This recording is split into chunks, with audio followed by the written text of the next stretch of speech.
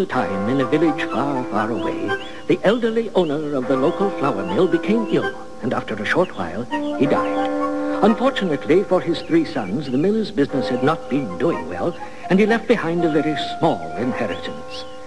In fact, his total estate amounted to just three items, and these he willed to his sons according to their ages. The eldest son received the mill itself. The second oldest boy was given a hard-working donkey. And the youngest son, Max, was left the family cat. What? That is correct. I'm afraid that's all your father was able to pass on to you. You mean I am to be left without a penny to my name? It would seem so. The language of your father's will is quite specific.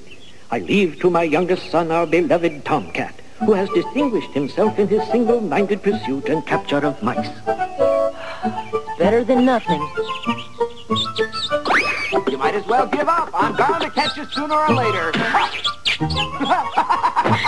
How am I supposed to make a living? I see. You think you can escape me, do you? It appears as though your inheritance is living up to his reputation most enthusiastically. Stop making so much noise.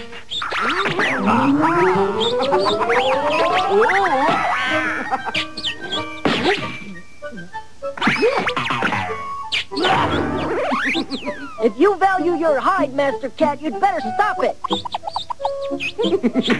hmm? Good morning, young squire. Have you suffered some kind of misfortune? You appear to be very pale. Aha, I'll wager you've been fighting with your big brothers again, haven't you? And by the look of things, you've been beaten again. I'm afraid your temper is more spirited than your judgment. Now look here. Don't provoke me any further. I'm in no mood to be mocked by the likes of you. I beg your pardon. Am I somehow the cause of your foul mood? More than you can imagine, the terms of my father's will were made known today, and my inheritance is you. Just me? Yes, my brothers received everything of any value. Don't despair. Your father was a man of uncommon wisdom. How so? Because he left me to be cared for by the one person in this household who has shown me any affection. And that is you. Ah. Nice of him. He must have determined that you, among all his sons, were the one who could benefit most from my companionship and faithful devotion. You should be truly grateful for his bounty. Ah, some kind of bounty.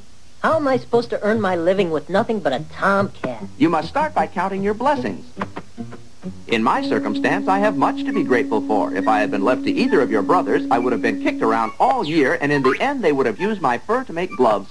Hmm.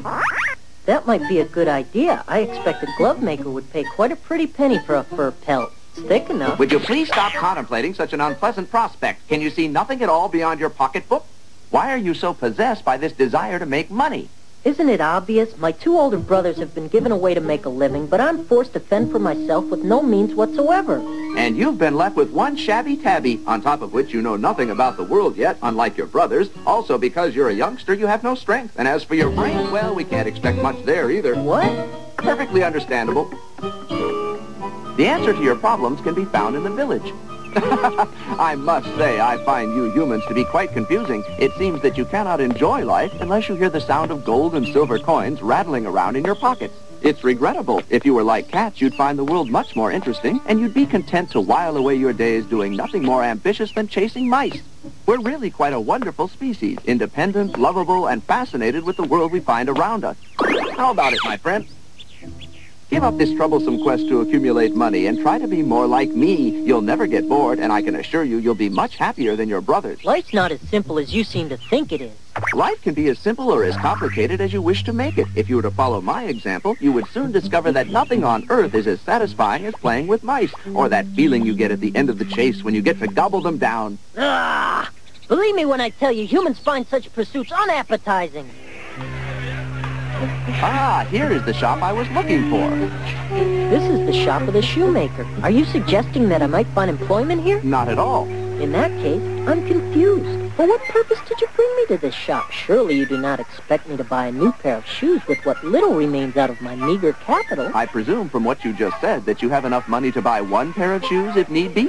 Such a purchase would leave me absolutely penniless. Stop now. I won't be a party to something so absurd. Good afternoon. I'm sorry to interrupt you. What can I do for you? I'm hoping you can fashion a pair of shoes for me. I'm in a big hurry. Have you gone completely mad? I told you I can't afford new shoes. Please don't interfere. So, Master Shoemaker, are you able to do the job or not? Hmm. Do you have any money? As you probably noticed, I have no personal means of my own, but my master has more than enough money to make such a purchase. Isn't that right, sir? We better go. I don't think this gentleman will be amused with your little joke. But my request is not intended to provoke laughter. Just a minute, you two. I'm a busy man, and if you're here to waste my time, I'm warning you right now, you'd better get out or I'll make you regret having come here in the first place. See how much trouble you've caused by not listening to me, sir? Now you've gotten the shoemaker very upset. Out. You'd better let him see. Let him see what? The money, of course. If you get him any angrier, things will get out of hand. You'd better show him you have some. Mm. Mm. He has plenty of money, as you can see. What do you think, shoemaker? How many pairs of shoes could we purchase with the money you see before you? Well, for that much, I could make you one pair. One pair of adult shoes, am I right? Yes, that's correct. I suppose, then, that if you were to make shoes for me, you would use less material and would probably have some left over? You mean the shoes you want made are for you? That's my idea. And what does that mean? It means rather than making large, expensive shoes for a human, it is far more economical to think in terms of making small shoes for me. Is it possible, shoemaker, that with this sum you might be able to fashion me some kind of hat as well? Well, if they're for you, then I suppose both the shoes and the hat could be done. Agreed. Since time is of the essence, do you mind beginning work immediately? I think I'll have you make me boots instead of shoes, though. That would look more dashing. I want them to reach my thighs and have some stylish embroidery around the top. They should be very soft leather. I want them to be red, and the heels should be nice and high. Oh, and let's put some spurs on them as well. You never know when I might have to ride a horse. I'm doomed. I would pinch myself, but I'm afraid I would find out this was no dream. Hmm? Huh? Paw! Da da da da da da da da dum. Well, what is your opinion? Does it meet with your approval? I must say it's impressive. You're fabulous. Your appearance is beyond words. Never in my life have I seen such elegance before. Thank you for your praise, sir. I've been noticing in my observations of people that they seem to be very impressed with a person's outward appearance. In fact, someone may be an absolute scallywag, but if he dresses well, he will be immediately accepted by members of polite society. You seem to have a more dignified manner about you, almost as though you've become a new person. To be more precise, you'd have to say I've become a new cat. You certainly don't look like the pet cat from the flour mill. It's a pity I'm broke. With a bit more money, I might have been able to complete your wardrobe by buying you a splendid cape. You've already been most kind to me, my friend. Here you've spent all your money, and yet without a moment's hesitation, you offer to buy me a cloak. You're very generous. As impressive as your bearing is now, I believe a cloak would convince people you serve some great nobleman. You may be right, but the items you've already purchased should be sufficient for my purposes. Come along, sir. Huh? Hmm. Huh? Innkeeper, Yes, can I help you? I'm a bit hungry. Could you possibly prepare a meal for me? Yes, I'd be honored. Meat dishes, fish dishes, or anything else you'd prefer. I'll let you pick the menu. What mischief are you up to? Nothing. I'm simply planning to have a meal. Make that a meal for two, my good man, and serve up the best food your establishment has to offer. Immediately, it will be my pleasure. This is beyond comprehension. Have you gone mad? I'm feeling perfectly fit, thank you. Why? Because you seem to have forgotten that we have no money. We're completely destitute. I'm well aware of that. This man will expect to be paid for the food he's preparing. I imagine so. It's a reasonable expectation. So what do you plan to do? Eat and run? Why, that would be dishonorable. I'm surprised you mentioned it. Huh? Obviously, one of us has become demented. What are you planning? I'm planning to eat my meal when it arrives. Sorry to keep you waiting, gentlemen. Feast your eyes and your palate. Ah, perfection. Ah, we'll be ruined. Please, my friend, you mustn't be so dispirited in the face of such marvelous food. To begin with, it's bad for your health, and beyond that, it's terribly impolite. So drink up, and leave everything to me. I'm drinking, I'm drinking, but I'm still worried. Believe me, there's nothing to be afraid of. Humbug. We'll end up in prison. Mm, wonderful. My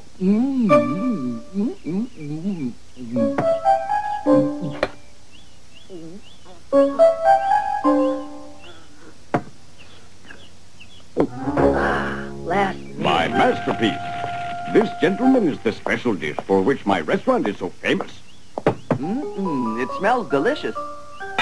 What do you have there? Small chickens? I should say not. These are quails, which we caught in the forest this morning. Quails? Take my word for it, these birds are something of a delicacy because they're so difficult to catch. Why, I've heard that the king himself has been unable to find them, and believe me, his majesty loves his quails.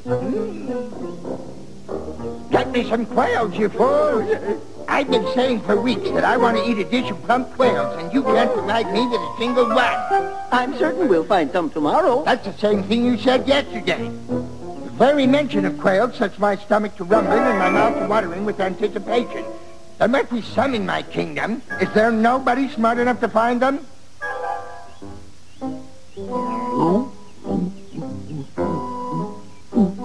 My compliments. This is the best meal I've eaten in quite some time. I thank you, sir. The quail is particularly fine, don't you think? I'm not surprised the king finds it so appetizing. More than appetizing, sir. It's his favorite dish. Hmm. You're absolutely certain it's his favorite? Oh, yes, sir. I have it on the highest authority. Excuse me? How peculiar. I presume he'll be coming back shortly to pay for both your meals? Uh, The miller's cat had been struck by a brilliant idea and immediately set about to put his plan into motion. Borrowing a sack and a little wheat from the innkeeper, he excused himself and raced away into the forest in search of quail. The miller's son, meanwhile, was left behind to face the wrath of the innkeeper should the cat fail to return. It was an uncomfortable situation and did little to improve his appetite.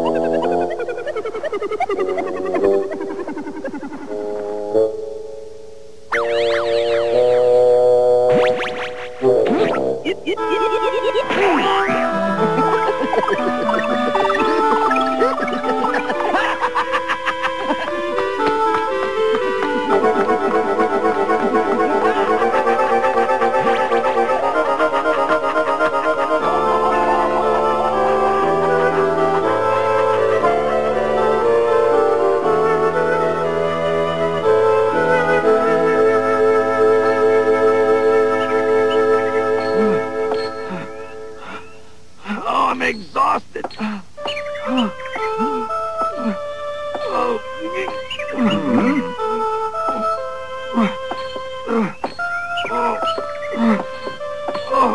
Oh, my back. It's too much. I won't be able to make it. I suppose it's sheer folly to expect anyone to help me with my burden. Far easier to stand around and watch people work than to offer them assistance. Hold on just a moment. Hey, guard! By what right do you presume to stop me and damage my parcel like this? I have a good mind to complain to your superiors. I'll pass your message along. In the meantime, since you have no business being here, I suggest you turn and be gone. I doubt if you even know where you are. It's the king's castle, of course. You expected to walk up and demand admittance? Absolutely. For what reason? To present something to his majesty. I have something very important to discuss with him and have therefore brought him a special gift. Hmm? Now, having explained myself, would you mind opening the gate? My time is somewhat limited. Tell me what you find so humorous. You have something important to discuss with the king personally? On top of that, would we mind opening the gate since you had to be somewhere? I am not in the habit of making frivolous requests. Do you really find my statements to be that funny? yes, I find them to be very funny, and now I'm going to show you something I find even more amusing. There now, that was pretty funny, wasn't it? I'm afraid your special gift to the king has fallen over the bridge. Mind that you don't fall over the edge yourself, Master Cat. You might end up like your bag. It's apparent you have no curiosity about the contents of that bag, do you? I couldn't be less interested. And I feel the same. That's unfortunate. In short order, I predict you both will change your attitude. Just where might you be going? I'm going to see the king to report on what has just happened. Truly, and what do you intend to tell him? I'll explain that I was attempting to deliver a gift of His Majesty's favorite food, a bag of fresh quails. What was that? I'll further relate that his gate sentries committed the unbelievable act of throwing them off the bridge into the valley below. You mean you had quails there inside that beat-up old bag? As many as 30 quails, actually, all of them quite plump and ready to cook. Since it's been some time since His Majesty has been able to partake of his favorite dish, I'm sure he would become most upset upon hearing about the loss of such a collection of quality birds. Then, I suppose, just as you threw the quails over the bridge, you too would be thrown over the bridge as well. No, come down here! You're lying about the contents of that bag. We'll soon find out whether or not I'm telling the truth. If the king even suspects that his beloved quail are lying at the bottom of the valley, he is certain to become aroused. I should think his next step would be to send someone down to retrieve that bag. And if I am found to be lying, I shall be put in prison. If the bag does contain quails, however, you two are in great peril. Say, have mercy, Master Cat. Were there quails inside that old bag? You've become curious? If you're so worried, wouldn't it be a good idea to climb down and look? After all, my friends, your lives do depend upon it. Just tell me if there were quails inside that bag or not. It's possible. What? Am I mistaken? I thought you said you couldn't be less interested. You scoundrel! Well, goodbye for now. I'm off to speak to the king. Just a moment, please! I've changed my mind about that sack, good sir. I'm willing to go down and get it for you. Just don't leave yet! Get going! Now! Both of you bring it up. Yes, sir. Get down there before I lose my patience. Quickly! Quickly! You're much too slow. I can't wait around here all day.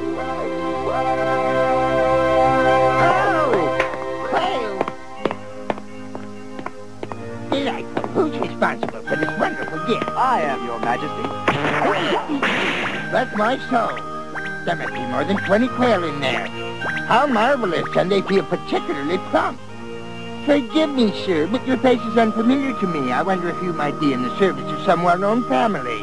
I am the messenger of Count Friedrich Sauerkraut von Heineken, your majesty, and the count has ordered me to convey the immeasurable happiness he feels at having the opportunity to grace the royal table with this special gift. Should you find these quails to your liking, he will be most gratified. Hmm. Your master has left the most favorable impression.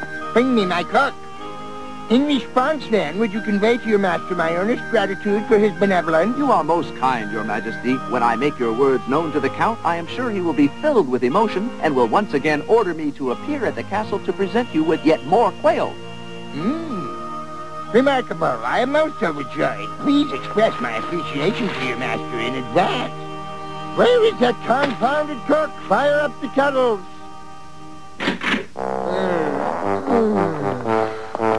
You've been of great assistance, sir. We'll make it a point to come back again someday. You can be assured that I'll be looking forward to that visit. Good fortune to you, Master Cat. Thanks to you, I have not only been able to eat enough to fill myself up for the first time in my life, but I have also been able to make some money in the bargain. You constantly astound me. You seem to be in some difficulty. Would a carriage be helpful? Uh, no, thank you. It would be a waste to squander our money on such a luxury. Don't worry about the expense, my friend. In fact, we'll have to spend most of the money before long just to prepare you to assume your new role as a rich nobleman. What nobleman? His Majesty was curious about the identity of his benefactor, and in order to preserve appearances, I explained to him that you were the Count von Heineken. Wait! Let me be sure I understand you properly. You described me to the king as the Count von something or other? His Majesty wanted to thank you for the quails and suggested I present you to him at the earliest opportunity. No, you must have taken leave of your senses. I can't do something like that. If I was to deceive the king, I could be beheaded. Don't panic. I have a plan. Please leave everything to me. I'm supposed to leave everything to you? What madness is this? I'm the youngest son of a poor miller. If I stood on my head, I still wouldn't appear to be a count. You'll just have to try. I've sworn an oath to the king. What? There was very little choice. He wouldn't let me leave until I promised to bring you to the castle so he could thank you in person. I'll surely end up in prison. What could be worse? He asked for more quail. Ah, can already feel the headsman's axe. The cat had a difficult time convincing Max to go along with his plan. Will you stop pushing? I don't want to go. Now, don't worry. Just leave it to me. I've learned a bitter lesson leaving things to you. It's a surefire way of landing myself in serious trouble. The king has been saying how much he wants to meet you, my friend. If you were to miss this opportunity for a successful future, surely you would be very, very sorry. But how can I pretend to be a count when I'm dressed like this? He'll see through me in a moment, and he'd probably want to have me beheaded on the spot. Do you actually think that I could make such an obvious mistake as that? I've ordered an entire wardrobe of beautiful new clothes for you from the town tailor, and they'll be finished today. What about my lack of education? I don't know all those fancy words that royalty uses. Trust me, please. It's going to be all right. All you have to do is remember the new name I gave you. Remember what? Your new name. What is my new name? Pay attention now. Count Friedrich Sauerkraut von Heineken. That is your new name. How will I remember? Must it be so very long? Look, why don't we just forget the whole thing? I'm not that interested in meeting the king and having a successful career. The simple fact of the matter is that I'm more than satisfied with the money that you have received and brought back from the king. Huh? That carriage looks familiar.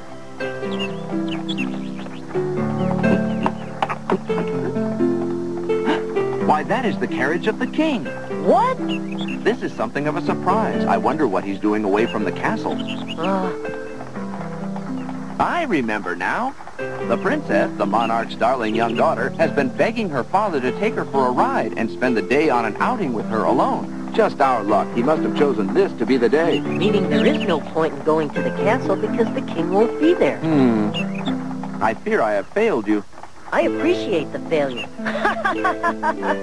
a big fuss over nothing. I am so relieved. Even when I think about meeting the king, I get giant butterflies in my stomach. I'm sure that if he spoke to me, my eyes would go blurry and I would definitely faint. My feeling is that today, I nearly lost my head. Look, the king's carriage is coming this way. I'm going to hide while I still can. This poses a problem. He's practically upon us. What are we going to do about it? Don't panic, I'm thinking. The trouble is, you're not dressed to look like a count. I smell real trouble. Oh, don't be so negative. As a veteran problem solver, it has been my experience that where there is a will, there is definitely a way, my good fellow. I'm leaving now. Come back here. If you leave now, you'll spoil all the plans I've made for you. If you want to move ahead in this world, you have to face up to its challenges.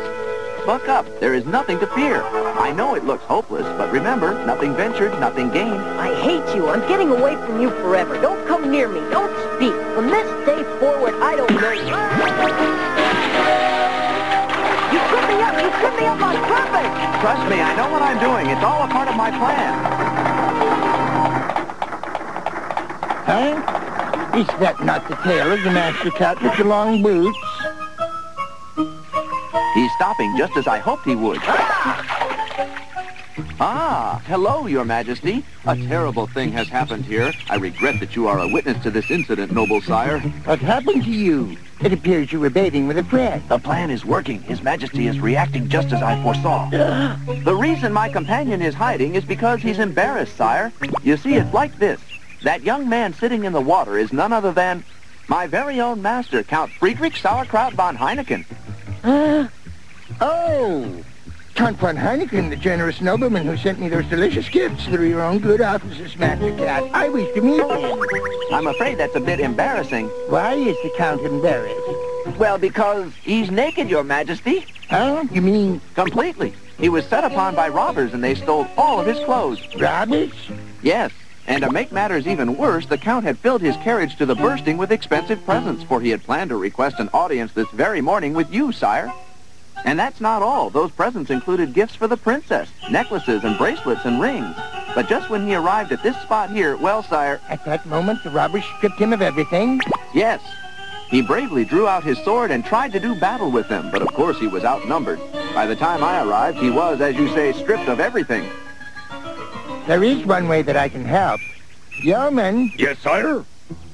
Return to the castle and fetch the Count some suitable clothes before he catches his death of cold.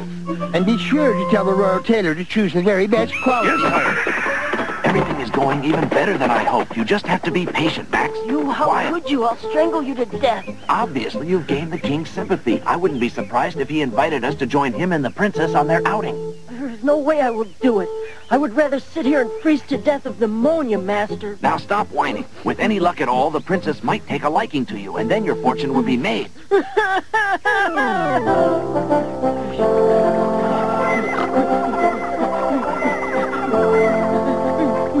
you ready? The king is awaiting us, Count von Heineken. Take my word for it, you look like a splendid gentleman. Be sure to say a gracious thank you to the king. That shaky voice will hide your true identity. Perfect. I'm not a bit surprised. I was, I was the, it's true. I, I wanted to, it's true. I'll translate for the Count, Your Majesty. Due to the ice-cold water of the river, both his mouth and tongue have frozen up. What he was attempting to convey was to thank Your Majesty for your generosity and express his deep regret over his inability to speak for himself. It is truly I who am the regretful one. I feel it is I who is indirectly the cause of it. No, no, no, no. I wish to make amends for the grievous harm I have inadvertently brought upon you. What can I do? Sire, the Count says you are in no way to blame. There was nothing you could do to prevent this crime. He has the exquisite manners of a true gentleman. I am sure that we can make room for two more here in the carriage. Hmm. Daughter, next to yourself, make a seat for the Count. I would be happy to make room for such a hero, Father. There you are. Time aboard, Count. The Count is reluctant to impose upon Your Majesty's generosity, but under the circumstances, he has very little choice. But, but what, what? I'll translate. Count Friedrich Sauerkraut von Heineken is happy to accept Your Majesty's gracious offer. Your Majesty, I, I, I... This way, Count. Here we go. Is it far from here, the Count's mansion? I would very much like to know. Sire? I said the Count's mansion. Where is it located? Um, you want to know where the Count's mansion is? Is that it? Of course, just lead the way. I don't understand. I will take the Count back to his mansion, so just lead the way there. Oh, uh, well, the Count was under the impression that you planned to devote this day to the princess. Yes, you're right. But there's been a change in my plan. That is to say, a change in our plan. For the princess and I have decided to take the Count back to the mansion instead. The princess has the opinion that a mansion belonging to the Count must certainly be a splendid one, and she looks forward to seeing it. So it's settled. Climb aboard and we'll be on our way. Into the carriage. hmm? Oh, dear, face. what happened to him? It's nothing for you to be concerned about, sire. The reason the Count fainted was he couldn't believe his good luck, for he wanted so much for you to visit his castle. He was so overcome with joy, he simply fell unconscious. On a horse borrowed from one of the king's men, Master Cat galloped as fast as the steed would go. Before long, he had put a safe distance between himself and the king's carriage. Truly, he went off in a great hurry. He must be miles ahead. Very strange. He probably wants to get back to the Count's castle ahead of us to prepare a warm welcome fit for a king and a princess. Oh, my. He is very clever cat. I must say that you are the owner of a most enviable servant. I'm just lucky, I guess.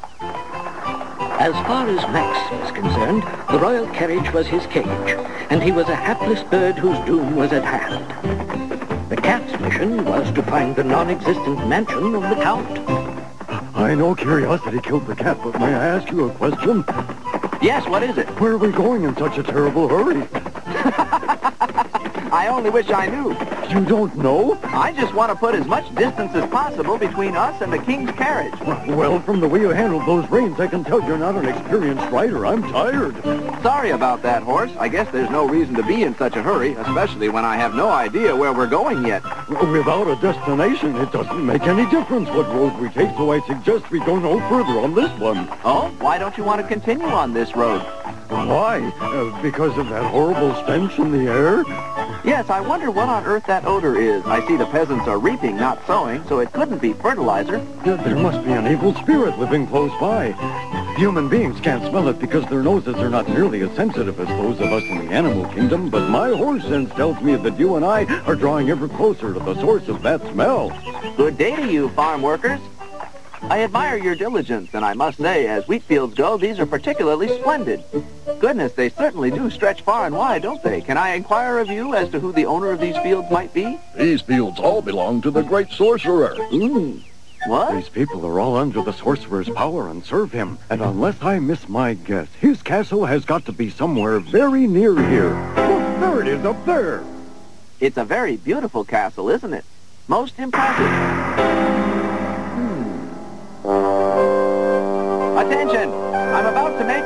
Important announcement.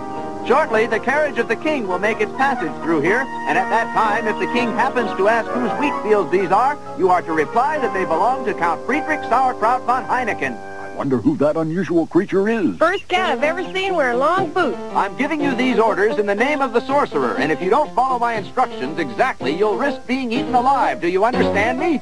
All right, let's get out of here. You're crazy. To the castle! All right, but you're the one who's going to get eaten alive by the evil sorcerer. There's more than one way to skin a sorcerer. to the castle! Giddy up! I wonder if he was really sent here by the sorcerer. I don't know, but I'm not taking any chances on being eaten alive. Master Cat and his trusty steed raced toward the castle, and the king and his entourage arrived at the golden fields of wheat. Hmm, these are rather splendid wheat fields. I wonder to whom they belong. I don't know, Father, but perhaps Count von Heineken knows whose property they are. No, no, Your Majesty, I don't know anything at all about them, really.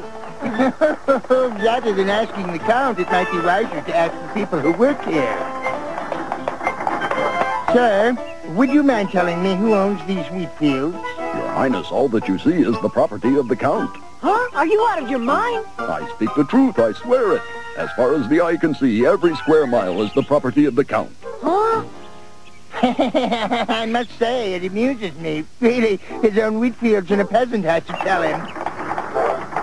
Probably it's because the Count has so much property that it's impossible to remember the full extent of his holdings, Father. His paw prints are all over this. Somehow he managed to do it to me again. What am I going to do? The horse refused to continue further, leaving the master cat on foot. With determined strides, he approached the castle. Inside, the sorcerer snatched a flame from the fire. He held it in his hands, released it, and the flame became a beautiful dancing girl.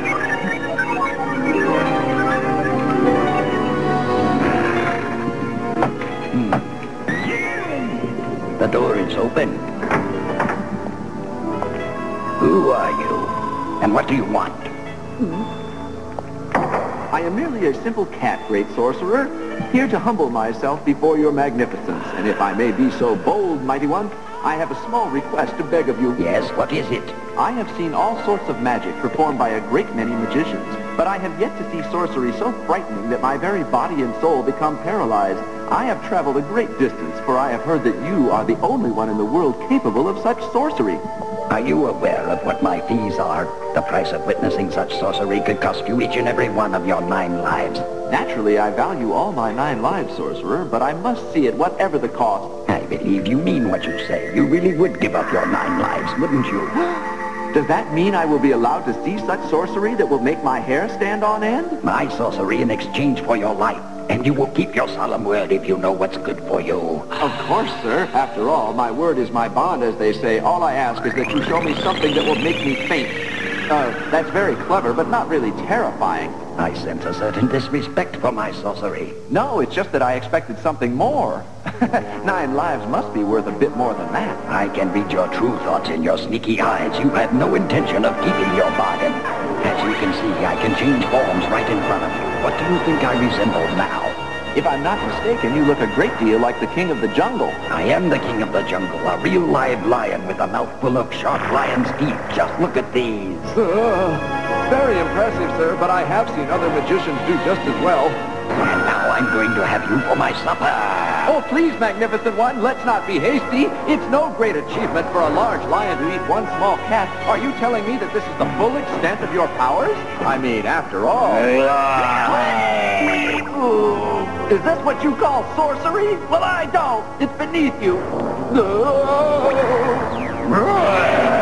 All right, I can good, mighty one. Very good, in fact. I'm impressed with your powers, I admit it. The time has come for you to pay. Prepare to give up all nine lives, little cat. Oh, please, let me keep just one.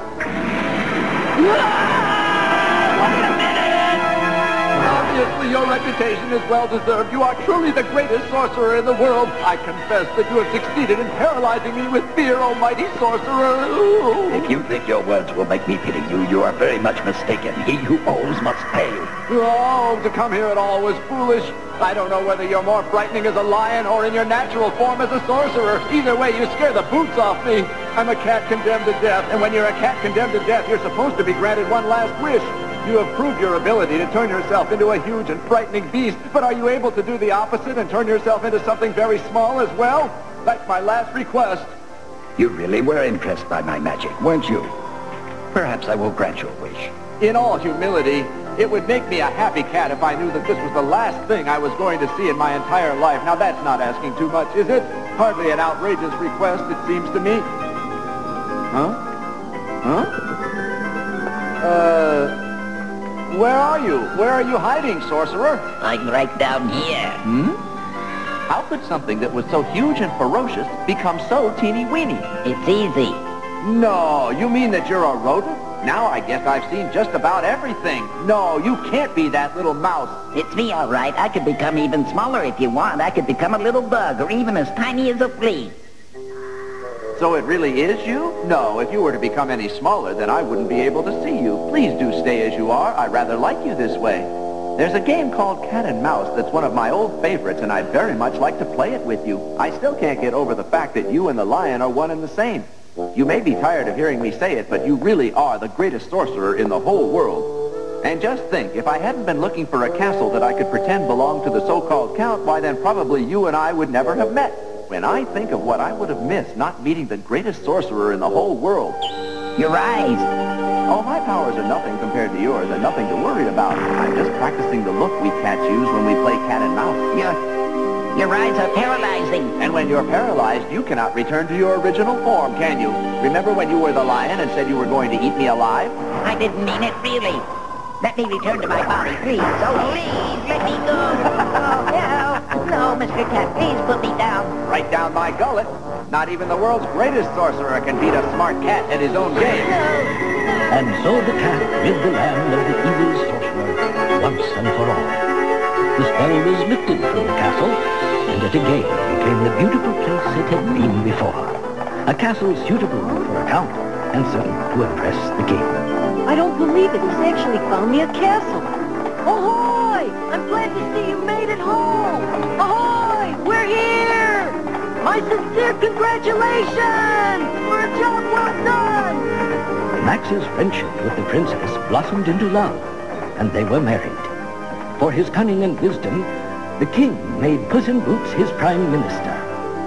Forevermore, the people of the realm would tell stories and sing songs in praise of their beloved Puss in Boots.